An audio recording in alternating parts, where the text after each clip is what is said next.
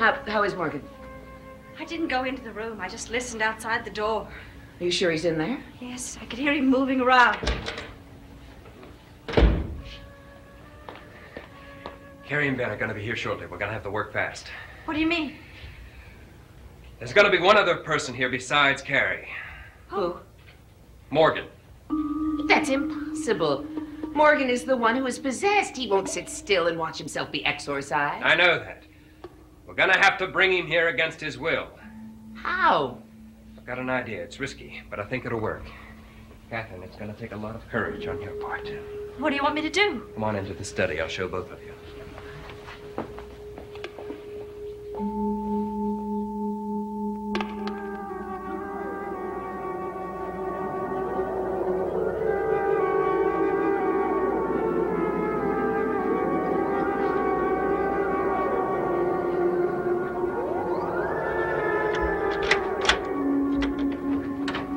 Stay where you are. I've come here to help you. I don't believe you. No Collins ever lifted a finger to help me. You've got to trust me. You've got to believe that I'm your friend. And why do you want to help me? We share a common goal. Oh, what is that? We both want Constance dead, don't we? I don't know whether or not I should believe you. But if you do, I'll set you free. And if you don't, I'll leave you here in this room. And why do you want to see her dead? We don't have time to go into that now.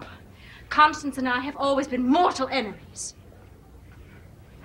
Now, do we help one another or not? You arranged to get me out of here if. if I agree to kill her. Is that your bargain? That's my bargain. No strings attached? None. Very well. I agree. Good.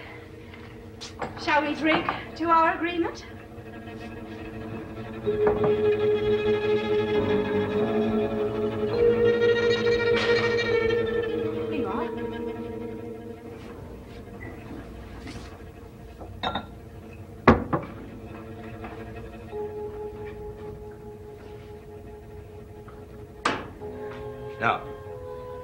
When can I get out of here? Sometime before tomorrow morning. Good. And I'll expect of you tomorrow morning.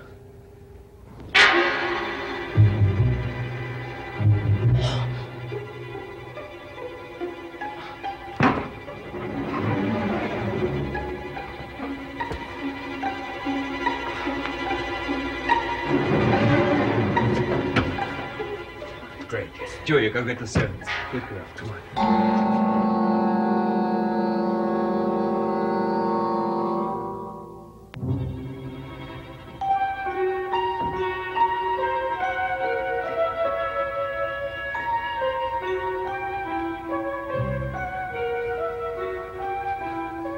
Carrie, there's no reason to be afraid.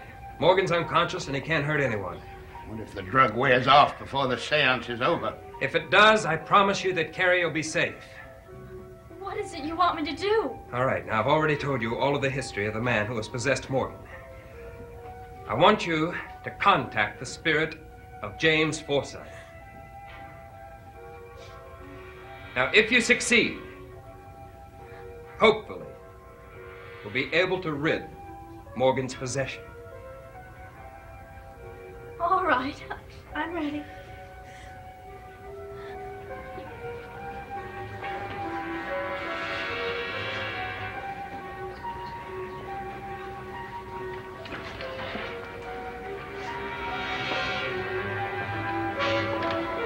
We must join hands.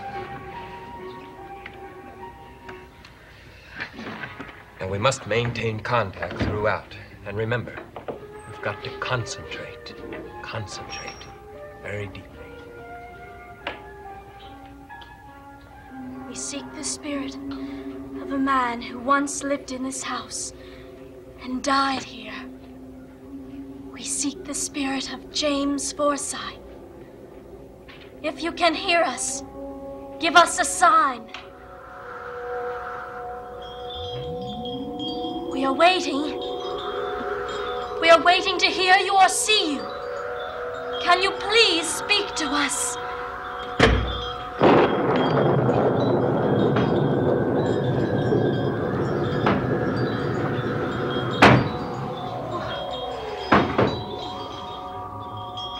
What is it you want of me? Who are you? I am James Forsythe. Why are you speaking through Morgan Collins? Because I must. Why must you? I am only a spirit without form or substance. But why did you possess Morgan Collins? To be free again and to right all the wrongs that have been done to me. Who wronged you? Tell us, please.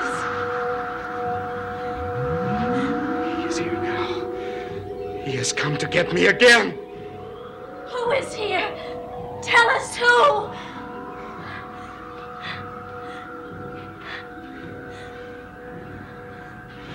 Brutus! Brutus is in this room! Brutus has come to get me, to send me back. You will not get me! You will not get me! Harry! Morgan!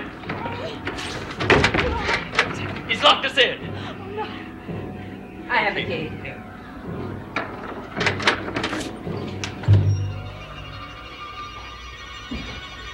Catherine, Catherine, you stay here with, with, with Ben and Carrie. I'll, I'll go upstairs.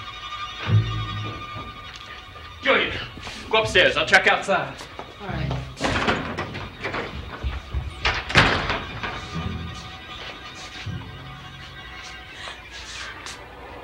Going to be all right, Ben. I know she is. She'll be fine. He won't be all right till I get her out of this house.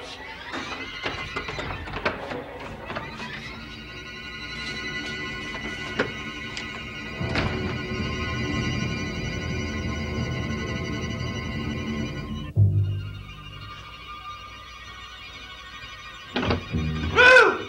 Stay away from me! Stay away from me! Morgan, Morgan, what's happened? Not Morgan. Forsythe.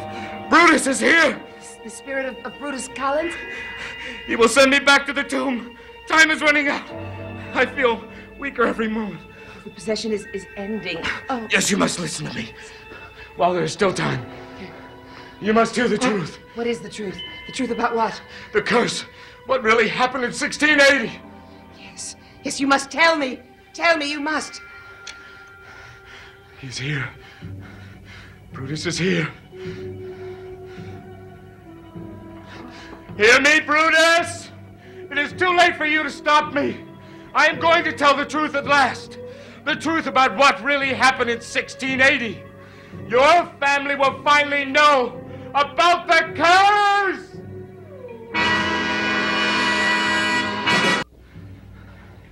He will not stop me. It is too late. Please, please tell me how it all began. I first met Brutus Collins in the year 1677. His sister Constance introduced us. He seemed an amiable man and an honest one. We liked each other at once, and we soon became business partners. But in three short years, I was to learn there were many sides to this man, Brutus Collins. He was a man of many dark and terrifying secrets. He spent almost all of his time alone, going over his books. He trusted no one, not even his own wife and children. Who is it? Constance. Come in. I told you I didn't want to be disturbed, sister. Yes, I know, but James Forsythe is here. He wants to see you. Very well. Give me a moment and then show him in.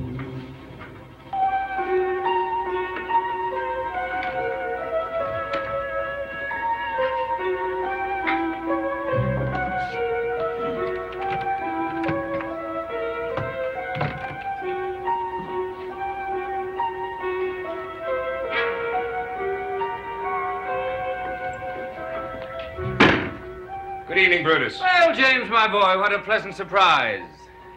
We can dispense with the uh, parental greeting and the jolly welcome. I am here to discuss our partnership. Oh, come, come. You know I never discuss business at night. Oh, Brutus, I think you even discuss your business in your sleep, assuming that you do sleep. Well, what a curious thing to say. It isn't really at all.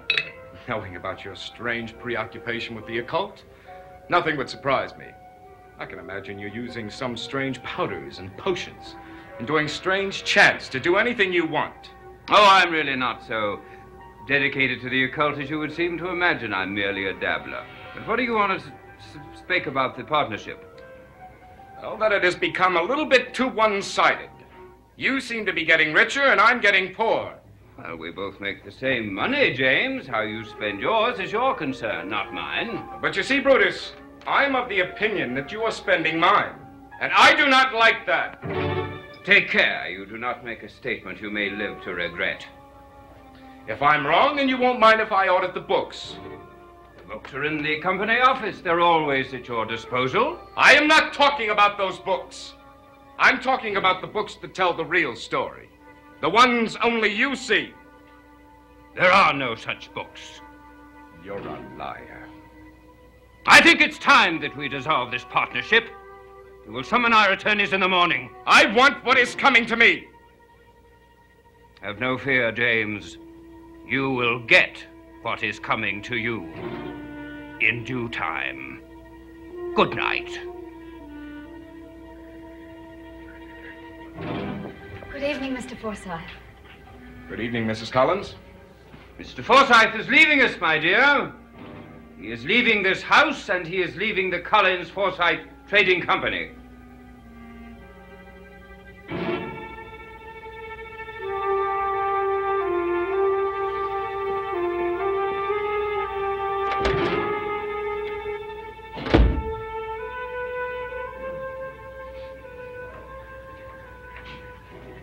I'm sorry, I didn't know you were in here. If you did, you wouldn't have come in. Is that it? No, no, of course not.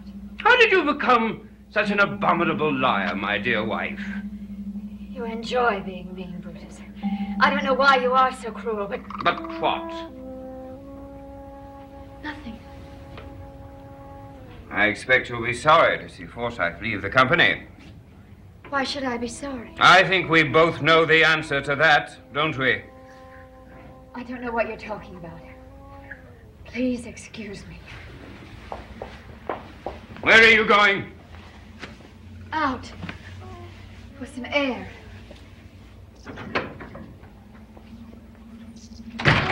Follow her. See where she goes and what she does.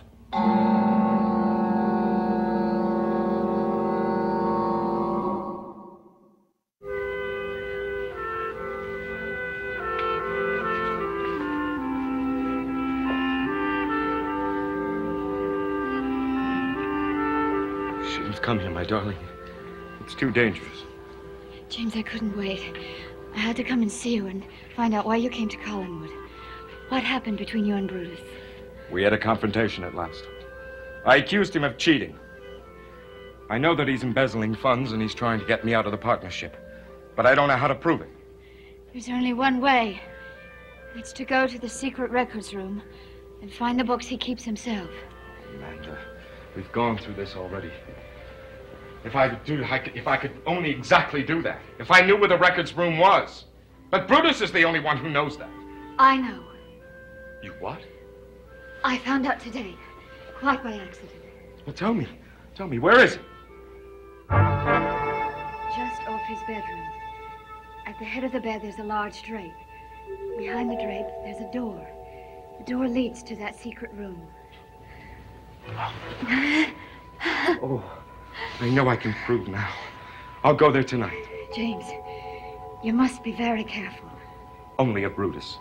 If anyone in his family sees me going there, they will want me to go on and show him up as the cheater he really is. Please don't be overconfident. Brutus has instincts that are uncanny. He always seems to sense when there's danger near. Don't worry, my darling. I have a very good reason to succeed. I love you. And I'm going to take you away from Brutus and this terrible life he's forced you to live. I love you, James. I will pray for you tonight.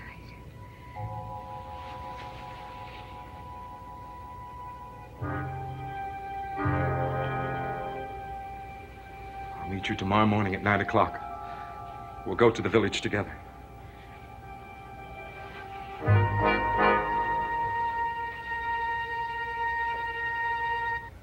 Where did my dear wife go? Amanda is at the cottage with Mr. Forsythe. The lovers trysting. How touching it is. Well, there wasn't anything very touching about what I heard. And what was that? Oh, they're plotting against you, Brutus. They're planning to destroy you. Tell me more, dear sister. Tell me more.